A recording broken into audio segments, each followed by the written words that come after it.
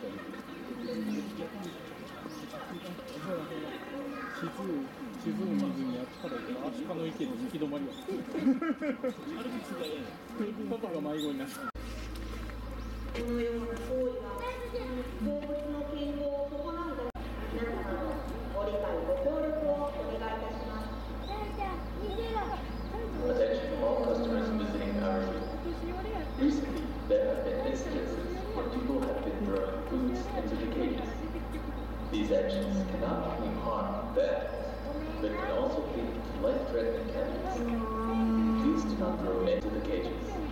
We thank you for your understanding and cooperation.